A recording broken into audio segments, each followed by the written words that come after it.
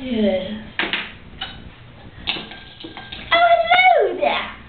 As you can see, I'm mixing different molecules to find a substance that will cure bad attitudes for life.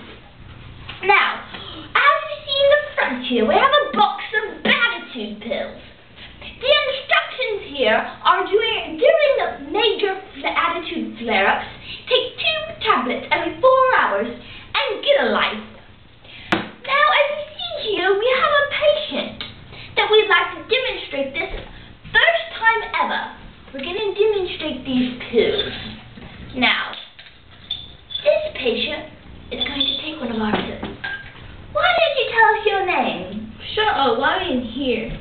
Well, let's see if your attitude will change by taking a simple red tablet.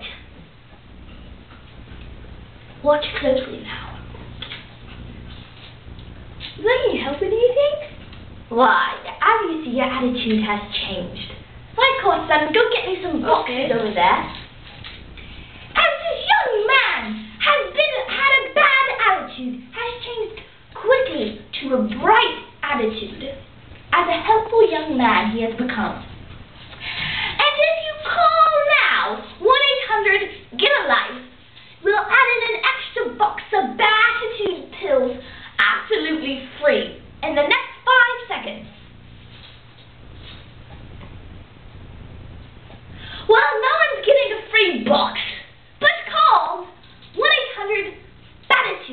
get a life.